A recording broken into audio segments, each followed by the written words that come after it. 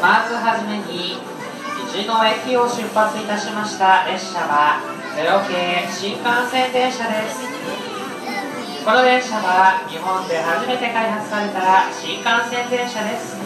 東海道山陽新幹線で44年にわたって活躍しました。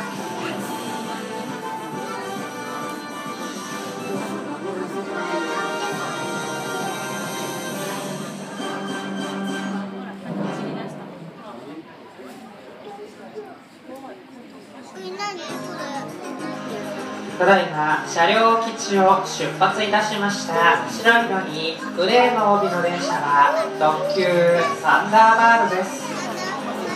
この電車は大阪と北陸地方の金沢富山和倉温泉などを結ぶ特急電車です。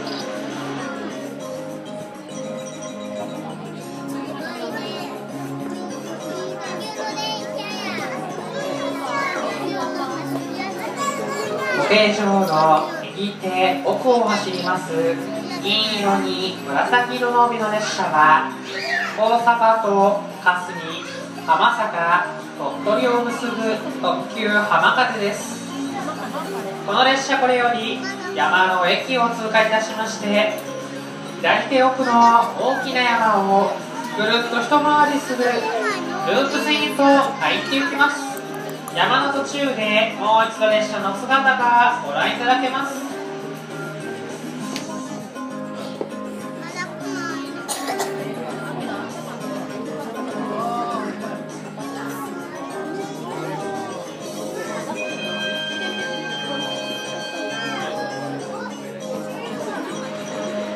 星の駅に出てまいりました。緑色の列車は寝台特急トワイライトエクスプレスです。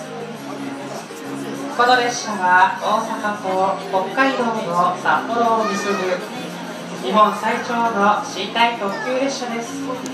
列車の中ほどには屋根の低い食堂車や窓の大きなサロンカーが連結されています。